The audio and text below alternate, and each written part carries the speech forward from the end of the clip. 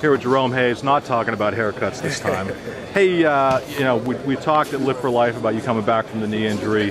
Where are you at this point, and how close are you to being ready to go full force? I mean, right now I feel pretty good. I, have gone the whole, you know, week of practice, you know, doing everything that, the, that my teammates have been doing, you know, my knee feels a little sore at the end of practice, but I'm you know I'm able to get in the cold tub, and by the time the nighttime comes, I'm, I'm feeling okay.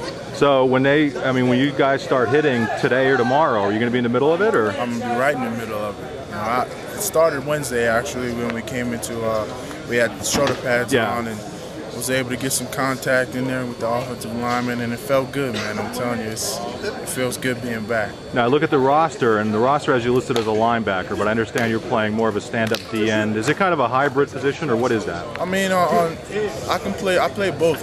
You know, I, on certain defensive packages, I'm forced to run a defensive line stunt where I go all the way to the A gap, okay. and on other defensive packages, I'm dropping in the coverage, guarding the tight end. So you know, it depends on what Coach Bradley calls. Is that the most comfortable role for you? I mean, in terms of body style and your ability and that type of thing? Most definitely. I feel right at home with the defensive line. Now, you were saying at Lift for Life you're up around, what, 250? Where, where are you now? I'm still at uh, about 250 pounds. Coach Johnson has, you know, recently gave me some information where I need to be 245, 240 pounds during the season, but, um, you know, it'll happen.